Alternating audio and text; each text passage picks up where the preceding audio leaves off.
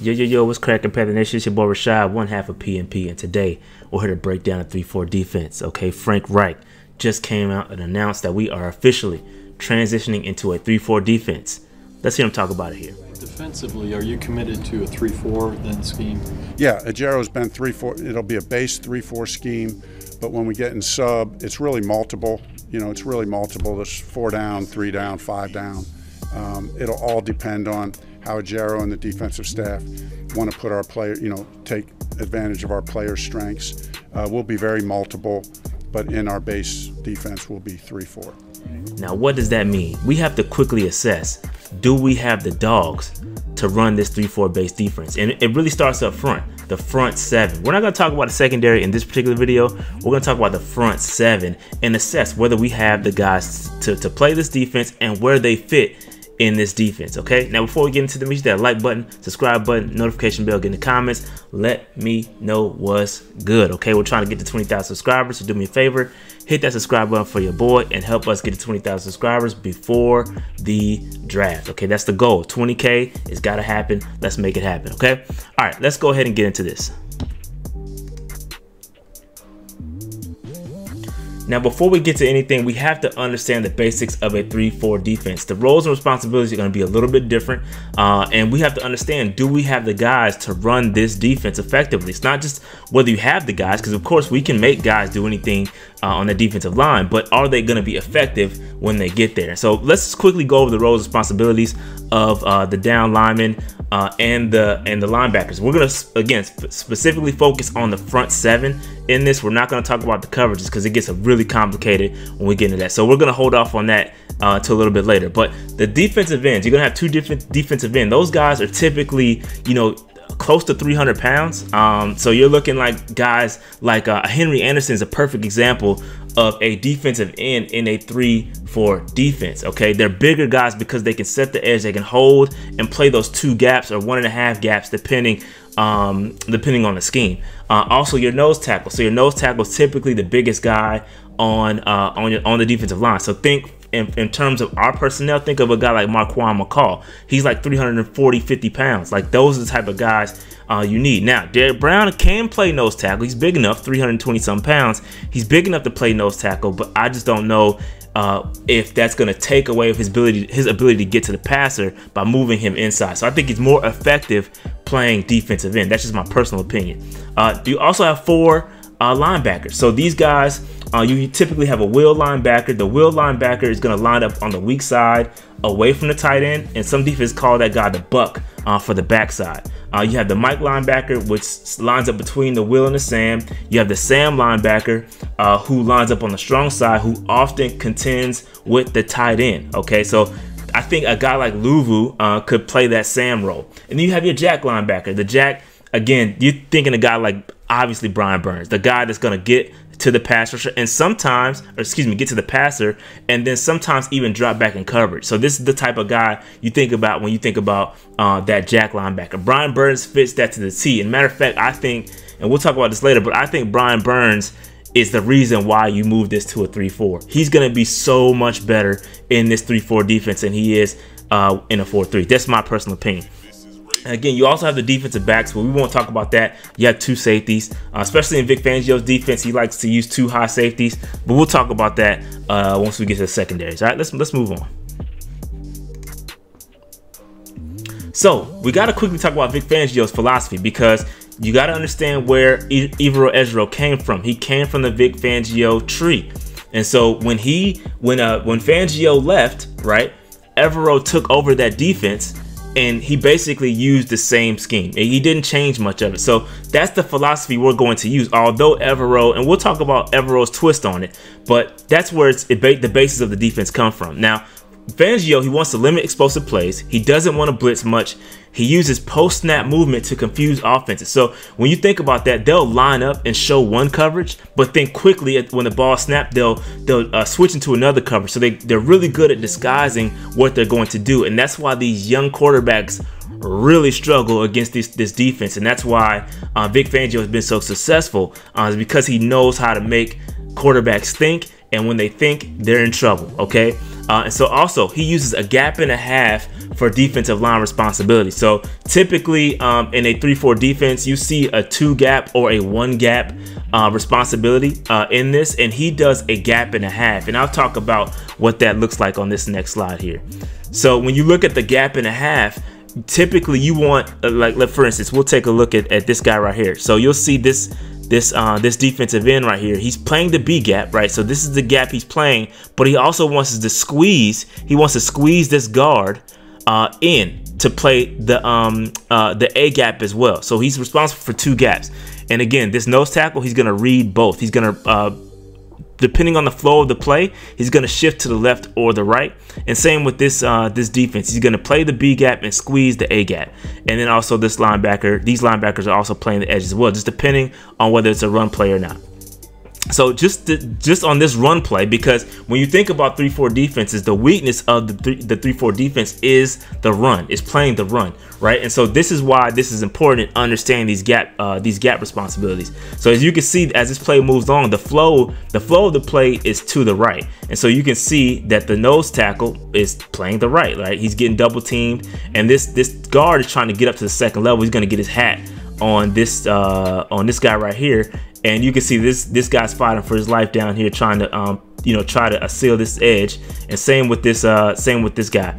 Um, so here we go. We'll, we'll continue this play along as he's about to hand the ball off, and we're continue to try to squeeze this gap. Right? He's he sees that the flow is that way, so he's gonna squeeze the A gap. Right? And so again, he's still reading the flow. Um, and then this um, this uh, this end right here is trying to squeeze that gap as well. So as you can see, we didn't do a, a, a good job of squeezing this gap right here, which is why this uh, this running back is able to bounce out. And that's why uh, essentially the lines win that rep. So again, the gaps, the gap responsibility, that's a very important thing. You have to be able to understand what's going on in this defense in order for it to be successful. You have to you have to be really gap aware. Okay, so that's the biggest thing about these defenses, the 3-4 defense, is understanding your gaps. You have to have smart players that understand what the hell is going on at all times. All right, so moving on. Now let's talk about Ejiro Evero's twist on the Vic Fangio philosophy because it differs a little bit. There's some nuances in it. Again, he's learned from a lot of guys, from from Vic Fangio himself, Raheem Morris, Monte Kiffin, and Wade Phillips. So there's a lot of things that he's going to do to tweak the system to make it his own. Now, again, he has a player-oriented scheme, meaning that he wants to play to his player strengths. It's not just about putting a scheme on folks and say, all right, you got to play my scheme. It's about playing to the strengths. That's the key to a really good defensive coordinator. Can you twist and finagle the scheme to make it work, right? Eh, but the thing that differs the most from Evero Ejiro to uh, to Monte Kiffin, uh, excuse me, to uh, Vic Fangio, is that he wants to pressure the quarterback and he will blitz. We talked about earlier. Vic Fangio doesn't want to blitz much. He wants to his front his front four guys or five or six, how many guys to get to the quarterback on their own and then uh, allow your guys to cover in the back end. Bro, Evero wants to pressure the quarterback by he will blitz and get to the quarterback by any means necessary. That's the difference between Evero and Fangio. Big difference, right? So now let's let's get into the the the personnel, right? It's time to talk personnel. Let's talk about what Evero had in Denver and compare it to the personnel that we have here in Carolina because that's where the rubber hits the road, okay? So, when you look at the starters eh, that they had in um, the starting defensive ends that they had in the Broncos, Purcell, DeShawn Williams. These guys, again, look at Purcell, 328. DeShawn Williams, 291. Uh, These are bigger guys. Compared to what we have projected, again, Matt Ioannidis is a free agent. We have to re-sign him. Henry Anderson, we have to re-sign him as well. We don't have another defensive end to pair along with Derrick Brown in the scheme. Again, I have Derrick Brown pegged as a defensive end in the scheme. I think that's where he fits best. Yetur Gross-Matos, I think he could in fact get lost in the sauce. He's six foot five, 265 pounds, which is typically the build for a defensive end in a 4-3 scheme. He doesn't have, I don't think he has the the body to play in a deep uh, play defensive end in a 3-4. You have to be bigger, you have to be stronger. You and he's good against the run. Don't get me wrong. I think that's a strength, but he's gonna he's gonna have to bulk up a little bit. Look at the. Even look at the guys in the rotation uh, Hennington, Hennington, Henningsen, excuse me, 291. Jonathan Harris, 295. Elijah Garcia, 305. 320 for uh, Uwazurike. Like, look, these guys are massive individuals. Yetur Gross does not fit the bill. So this is where I have the most concern about switching to a 3-4. We don't have the dogs unless you sign a Matt Ioannidis. Ioannidis does have experience in a 3-4 defense. He has the uh, experience playing defensive end in a 3-4 defense as well. He can play, in fact, he can play all the way across. He can play nose tackle as well. He's done it. So this is where I have the biggest concern. Let's talk about the nose tackles. So again, not too many nose tackles are held on this roster. In fact, they only have one because they have guys that can play all across the board. Um, DJ Jones, six foot 305. Again, you don't have to be a massive individual. You just have to be strong as hell. So if you don't, if you don't, if you don't weigh 340, you got to be strong. DJ Jones is a strong individual. My McCall, I think I got this with his weight wrong. I think he's 340 some pounds. So this guy's a massive individual and he's strong. I think he also best fit in a 3 4 defense playing nose tackle. Bravion Roy, I think, can be a rotational piece as well, playing in the 3 4. But, you know, I think we have the guys for the nose tackle position. Do we bring in another veteran? Probably. I would probably bring in another guy just to be sure uh, because Marquan McCall is, is inexperienced. But I, I feel okay about this. Outside linebackers. Okay, look at the outside linebackers. Jonathan Cooper, six foot five, two, 255 pounds.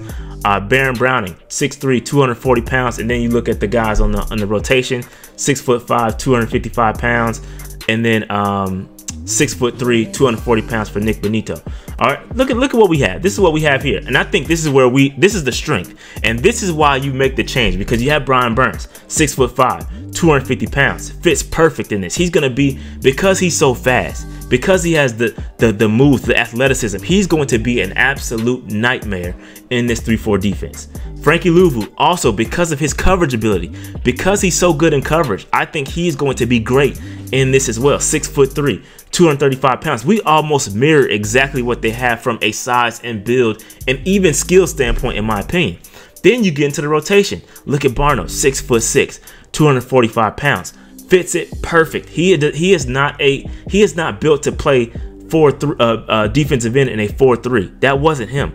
Square peg round hole from Amare Barno. But now that he gets to stand up, use his speed, that that that record setting speed that he had at the combine, he's gonna be a problem.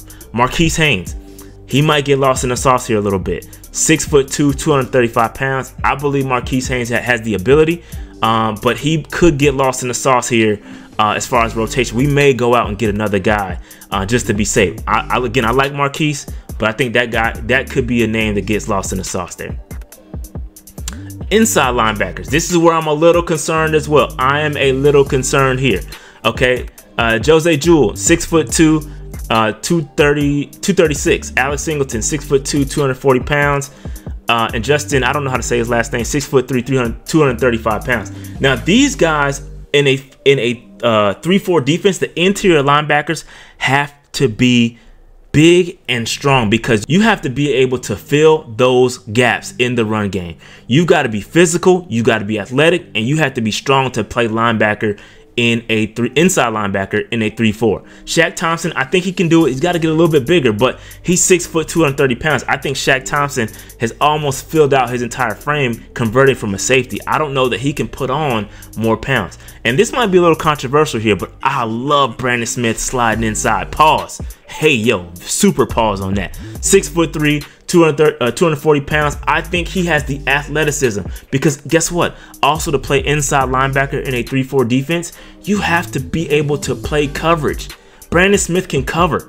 He's, he's pretty solid at, at, at covering guys, but he also has the athleticism to blitz. He has the athleticism to uh, play uh, and strength to play those run those run gaps as well. So I think that Brandon Smith could be a um, a, a sneak. He could be a really good inside linebacker as well. But worst case scenario, if not, you can he can also serve as a rotational outside linebacker as well. You get him in that Micah Parsons role. I think he would be great there as well. So even if we have an alternative here, hypothetically, let's say hypothetically speaking, again, you got Cory Littleton, who is a free agent. We need to get Cory Littleton extended. I think he would be another great fit to play inside linebacker um, in the uh, in this 3-4 defense. Damien Wilson, I don't think he fits. Per this is my personal opinion. I think Damien Wilson is a middle linebacker in a 4-3 defense. I don't think he fits. I think he's a cut candidate. Keep an eye on that. So inside linebacker is my biggest second biggest concern alongside of defensive end.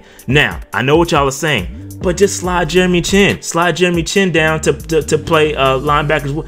I don't think Jeremy Chinn is big enough, pause, to play inside linebacker. He's got to put on some weight. He got to put on at least 10, 15 more pounds.